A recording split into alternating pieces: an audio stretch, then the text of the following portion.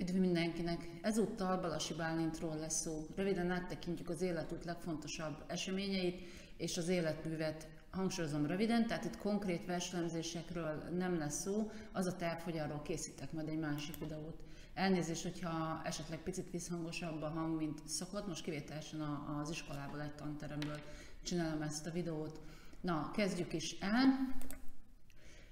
Balasi Bálint szerintem egy nagyon izgalmas figurája a magyar irodalomtörténetnek, bár nyilván őt is eltávolítja már a mai olvasótól az, hogy azért egy 500 évvel ezelőtti nyelven írta a versét, de, de nagyon izgalmas az ő életműve. És hát azoknak a költőknek a sorában is hely, helyet foglal, akiknek az életútja az nem volt nehézségektől mentes. Annak ellenére volt neki nagyon sok egzisztenciális problémája, hogy egyébként abszolút a legfelsőbb társadalmi rétegbe született, ő egy arisztokrata családba született Zójon várában, Azonban a Bécsi udvar szemében kegyvesztetnek számított az apja. Most ebben nem érdemes belemenni részletesen, a tankönyvben ez, ez le van írva, hogy összeesküvéssel vádolták, és mindenféle ilyen intrikáknak itta meg ő a levét. Az a lényeg, hogy Balassonak az egész élete arról szólt, innentől kezdve, hogy valahogy megalapozza az egzisztenciáját, hogy valahogy helyreállítsa a tekintélyét, helyreállítsa a jó hírnevét az udvarnál, de hát ez nem igazán jött össze. Tehát az ő egész életére rányomta a bélyegét az a politikai környezet, amiben ő bele született.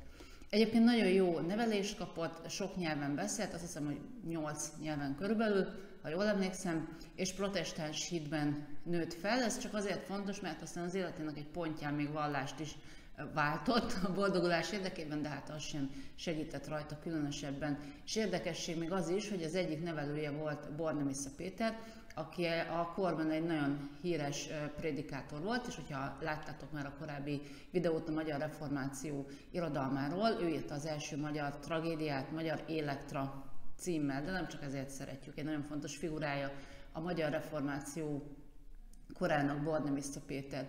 Külföldön is tanult, Balassi, Nürnbergben azt tudjuk egészen biztosan, és talán van olyan ö, forrás is, ami arra enged következtetni, hogy Itáliában is tanult egy darabig.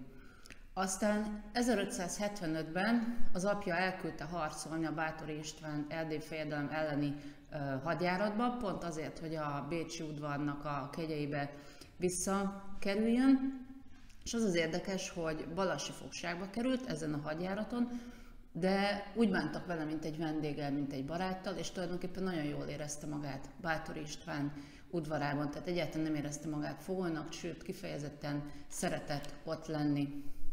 Olyannyira, hogy amikor Bátori lengyel király is lett, akkor elment vele Lengyelországba. Ez tulajdonképpen a Bécsi udvar szemében az egyenlő volt a felségárulása, tehát tovább rontotta az ő helyzetét, és csak azért jött haza, hogy ne bántsák a családját emiatt, tehát csak politikai okokból jött haza, egyébként nagyon jól érezte volna magát Lengyelországban. Többször is volt egyébként hosszabb ideig Lengyelországban, tehát ez egy fontos helyszín az ő életében. Aztán 1577-ben meghalt az apja, és akkor még tovább romlott a helyzete, mert a, a gyámja, ugye ő még nem volt nagykorú, a gyámja az kiforgatta gyakorlatilag a, a, őt és a testvéreit a vagyonából, tehát innentől kezdve annak ellenére, hogy a legfelsőbb körökből származott, egész életén át végigkísérték az a anyagi gondok, az egzisztenciális gondok, illetve a, az egyre rosszabb megítélése az udvar, illetve az arisztokrácia részéről. Aztán érdemes és hát fontos megemlíteni élete nagy szerelmét, akivel 1578-ban ismerkedett meg. Losonci Annának hívták ezt a, az asszonyt, mert hogy egy férjes asszonyról beszélünk, és hat évig tartotta a szerelmük, de, de nagyon-nagyon ritkán tudtak értelmszerűen felhőtlenül boldogan együtt lenni, tehát ez egy nagyon sok szenvedéssel, nyilván sok örömmel, de sok szenvedéssel is telített kapcsolat volt. És aztán humanista módi szerint a verseiben Júliának hívta ezt az asszonyt. Tehát nagyon sok Júlia vers lesz, majd erről is fogunk beszélni később. Aztán volt egy négy éves időszak, amikor Egerben volt várkapitány, vagyis hadnagyként szolgált, katonaként szolgált Egerben, de aztán onnan is el kellett jönnie mindenféle összeférhetetlenség miatt, meg azért hozzátartozik az igazsághoz, hogy ő egy nagyon kicsapongó életet élő figura volt, tehát ahol, ahol megfordult, ott nagyon sokszor elszerette annak a feleségét, aki csak lehetett, és úgy egyébként is ebben a korban hogyha az ember férfi volt, és magas státuszú volt, akkor nagyon-nagyon más, hogy viszonyultak a női nemhez, a női testhez, tehát mai szemmel nézve nagyon sokszor az, az zaklatásnak vagy erőszaknak számítana, ami Balassi életében mondjuk mindennapos volt. Tehát egy nagyon nagy természetű, nagyon sok botrányt kavaró, kavaró eléggé kicsapongó életet élő ember volt. Ez sem segített nyilván abban, hogy, hogy az udvarnál újra rendeződjön az ő megítélése. Aztán megint csak azért, hogy rendezze a helyzetét az udvarnál, egy érdekházasságot kötött 1584-ben, elvette Dobó Krisztinát, aki az egri várkapitány Dobó István lánya volt, és ez volt az a pont, ahol még a katolikus hitre is hajlandó volt áttérni, hogy ez a házasság létrejöjjön, de aztán ez sem jött össze igazán, mert hogy végül vérfertőzéssel vádolták meg, hiszen Dobó Krisztina az ő első a testére volt, tehát elég közeli rokona volt, ez is botrányt kavart, és az lényeg, hogy a végén érvénytelenítették ezt a házasságot. Egyébként hozományul kapta a Sáros Pataki várat, és oda be is költözött, de, mint mondtam, nagyon gyorsan véget ért ez a házasság. Aztán továbbra is az anyagi gondok, a szerelmi botrányok fémjelezték az ő életét, és egyre lejjebb csúszott a társadalmi ranglétrán. Aztán időközben egyébként Losonci Anna a nagy szerelme megözvegyült, és akkor meg is kérte őt Balasit, tehát próbálta törvényessé tenni ezt a, a kapcsolatot, de Losonci Annának eszágában nem volt hozzámenni ehhez a, ehhez a teljesen csóró és botrányokkal tűzelt életű férfihoz, hiszen Losonci Anna ekkor már nagyon jó módú volt, tehát nem lett házasság ebből a, ebből a szerelemből végül.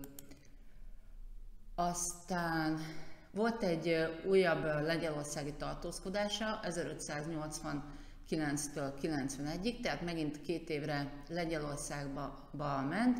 Ez pedig azért lesz érdekes, mert ebben az időszakban születnek majd a Célia versek. Erről nincs megegyezés az irodalom történetben, hogy ki az ihletője a Célia verseknek, ezek szerelmi témájú versek, de az bizonyosnak tűnik, hogy ez egy valódi kapcsolatnak a lenyomata, tehát ott is volt egy olyan nő, aki, aki közel állt hozzá, és meg is ihlette. Aztán 91-ben, mint mondtam, hazajött Lengyelországból, és akkor az volt a, a terv, hogy a török harcokban igyekszik majd magát kitüntetni, tehát hogy tulajdonképpen katonaként próbál majd boldogulni és visszakerülni a Bécsi udvar kegyeibe. Aztán 1594-ben Esztergom ostrománál egy súlyos sérülést szenvedett, mind a, mind a két combját meglőtték, és végül is ebbe a, ebbe a nagyon súlyos sérülésbe halt meg, egész fiatalon nem volt még, azt hiszem nem volt még 40 éves. Tehát így ért véget az ő rövid és izgalmas, de tulajdonképpen nagyon szomorú és kudarcokkal terhelt élete. Itt van egyébként egy ábrázolás róla, ez talán a leghíresebb, ez Egri várkapitány korában ábrázolja Balassit, és egy hiteles ábrázolásként tartják számon. Na, nézzük az életművet röviden, tényleg ez most csak egy áttekintés, vagy nyilván órán elemzitek a, a verseket részletesebben, és mondom, nekem is van egy olyan tervem, hogy, hogy egy, a, hogy egy a legfontosabb versekről szóló videót igyekszem majd összehozni a közeli napokban. Na nézzük az életművet. Ugye Balasnak a jelentősége az, hogy ő az első olyan világszínvonalon alkotó költő, aki magyarul írt. Hiszen volt már, vagy igen, volt már Magyarország nagyon híres reneszánsz költője, János Pannoniusnak hívták, de ő még nem magyarul alkotott. Balassi egyébként azért nem volt annyira híres, mint, mint eh, János Pannonius, tehát azért az ország határon kívül nem annyira ismerték, már csak a nyelvi akadályok miatt sem, hiszen magyarul írt, de, de a költészetnek a színvonala az abszolút fölveszi a versenyt a kortársak költészetével. Tehát tényleg egy világirodalmi mércével mérve is színvonalas reneszánsz költő volt, aki már magyarul írt. Többféle hagyomány ötvöződik az ő költészetében, mindenek előtt nyilván a reneszánsz, humanizmus, és ezen belül is Petrarca költészete az, ami a legnagyobb hatást gyakorolta rá. De nagyon erősen jelen van a magyar népköltészetnek a, a formavilága és a, és a motivumvilága, illetve amerre ő járt kelt élete során, az ottani költészet is hatást gyakorolt rá, így például a, a lengyel udvari költészet, hiszen viszonylag sok időt töltött Lengyelországban, illetve a török virágének költészet nyomait is föl lehet fedezni az ő életművében. Ő elég sokat írt, egy elég termékeny költő volt, vagy művész volt, azonban csak egy szövege jelent meg nyomtatásban az élete során, amikor Lengyelországban tartózkodott még fiatalabb korában, akkor megjelentetett egy ilyen vallásos értekezést, ami nem egy eredeti szöveg volt, ez, hanem, hanem egy fordítás. Ennek az a címe magyarul, hogy beteg lelkeknek való füves kertecske, és ezzel próbált vigaz nyújtani a családjának, hiszen akkor még az apja élt, és tulajdonképpen ők Lengyelországban menekültek a, az otthoni vegzálások előtt, elől, és ezzel próbálta vigasztalni a családját, meg hát nyilván magát is. És ami nagyon érdekes, hogy a versei, tehát az, hogy Balassi, arra nyilván tudtak az irodalomtörténészek korábban is, hogy Balassi Bálint írt verseket, de hogy maguk a szövegek azok csak 1874-ben kerültek elő, 1874-ben találták meg azt a kódexet, amelyet azóta Balassa kódexként emlegetnek, és amelynek a szerzője azt állítja, hogy a költő saját kezével írott gyűjteményét másolta le. Ja, itt zárójelben mondom, hogy a Balassi és a Balassa névváltozat mind a kettő jelen van. Az irodalom történetben Balassiként szokás emlegetni ezt a költőt. Tehát 1874 óta ismerjük szövegszerűen a Balassi által írt lírai műveket, és az is látszik ebből a, a kötetből, elfogadva, hogy valóban a Balassi által kézzel ért gyűjteményt másolták le, hogy Balassi nagyon tudatosan rendezte kompozícióba a szövegeit. Erről többféle elképzelés is van, ez is a tankönyvetekben eh, le van írva, hogy mi lehet ennek a, ennek a kötet kompozíciónak a vezérelve. Van egy olyan értelmezés, ami szerint a, az isteni színjátékra hajaz úgymond, tehát ugyanúgy a számmisztika, adja az alapját, van egy olyan értelmezés, ahol pedig a saját személyes életútja szervezi a verseknek a, a sorrendjét. Na és amit még az ő költészetéről nagy általánosságban tudni érdemes, hogy nem időrendben szokás tagolni a verseket, hiszen nem is nagyon tudjuk, hogy mikor keletkeztek az egyes szövegek, hanem, hanem tematikusan, tehát nem kronológikusan, hanem tematikus szempontból szokás tárgyalni Balasinak a verseit, és ebből a szempontból három nagy csoport van. Vannak a szerelmes versek, az istenes versek, és a vitézi, illetve tavaszköszöntő versek, ezeket szokták még egy csoportba sorolni. A szerelmes verseken belül is el lehet különíteni három nagyobb szövegcsoportot. Az egyiket Anna verseként szokták emlegetni, ezzel tulajdonképpen még a, a korai, a Losonci Annához írott korai, kevésbé érett, sokkal inkább a, az utánzó költészet körébe tartozó verseket szokás sorolni. Júlia verseknek hívjuk a már érett költő Balasi által írott ö, szerelmes verseket, és a célja versek pedig, ahogyan már említettem, a Lengyelországban um, szerzett élmények hatására íródott késői szerelmes versek. Jó és istenes verseknek hívjuk a vallási témájú szövegeit, vitéz és tavaszköszöntő versek, a pedig ahogyan a, a, az elnevezés is utal rá, a katonai élettel, illetve a, picit a népköltésztre hajazó szövegvilággal rendelkező versek. Ami még érdekesség, hogyha megnézitek a szöveggyűjteményben Balasi szövegeit, akkor azt látjátok, hogy mindig van mellettük, vagy legtöbbször van mellettük egy nóta megjelölés, tehát hogy milyen dallamra vannak írva a szövegek.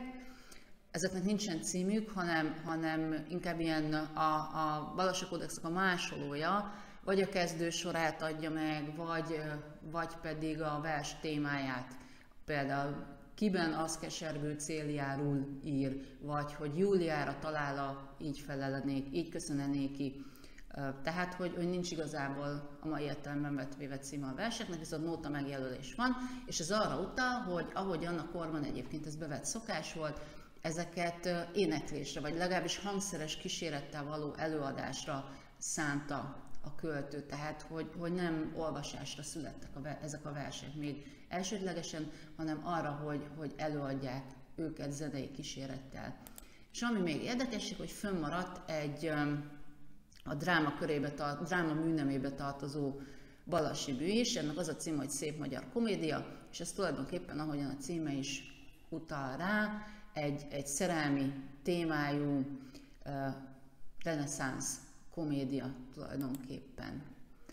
Na, és akkor most elsőre ennyi lett volna Balasi, ha minden jól megy, akkor hamarosan jelentkezem egy-egy verselemzéssel is. Addig is iratkozzatok fel a csatornára, ha még nem tettétek, nézelődjetek a videók között, most már egész szép számban vannak fenn, és hogyha szeretnétek és megtehetitek, akkor anyagilag is támogathatjátok a csatornát, vagy a Patreonon, vagy a YouTube-on egy szuper köszönettel. Na, hamarosan jelentkezem, sziasztok!